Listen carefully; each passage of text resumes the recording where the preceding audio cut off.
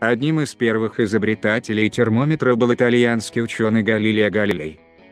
В 1603 году он изобрел прибор, даже отдаленно не напоминающий современный термометр, и назвал его термоскоп.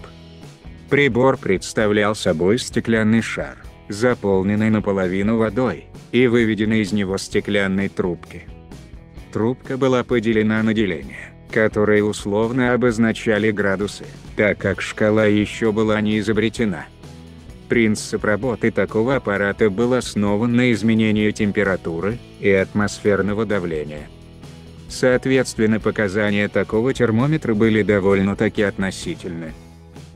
И только в 1641 году был пущен в производство термоскоп, в котором в качестве термометрической жидкости вместо воды был использован подкрашенный спирт. Такой прибор стало возможно использовать на улице при минусовой температуре.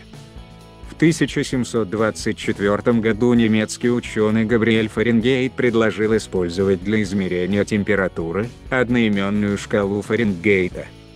На основе данной шкалы были пущены в производство ртутные термометры, его шкала и сейчас используется в ряде стран, в Соединенных Штатах Америки, Канаде и Майке. Со временем приборы совершенствовались и изменялись визуально. В 1742 году шведский ученый Андреас Сельси запустил в обиход свою шкалу, но его молодой ученик Мартин Стример совсем немножко подкорректировал изобретение своего учителя, перевернув данную шкалу. Ее там и привыкли видеть на современных термометрах. В 1860 году английский ученый Уильям Кельвин разработал и предложил свою модель шкалы. Эта шкала и в наше время успешно используется учеными.